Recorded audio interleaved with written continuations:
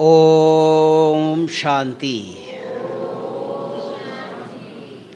ओम शांति।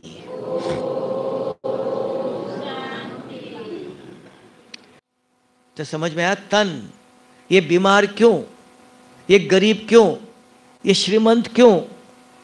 इसका जवाब मिला? अभी आपके हाथ में है?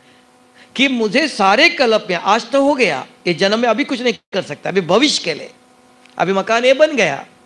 दूसरा बनाते समय ऐसा नहीं बनाना, ऐसा बनाना है। ना? भविष्य आपके हाथ में तो भविष्य चाहते हो तो उसके लिए सोचो कि सदा धनवान बनना चाहिए।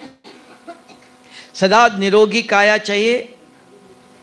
सदा धन संपत्तियों से भरपूर होना चाहते हो तो क्या करना चाहिए? कौन बताएगा? हम्म। हाँ।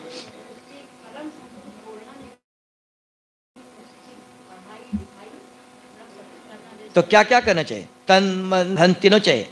तो तन से कितना करना चाहिए? कम से कम एक मिनट इस यज्ञ की सेवा करो। एक जन्म के लिए निरोगी काया मिलेगा।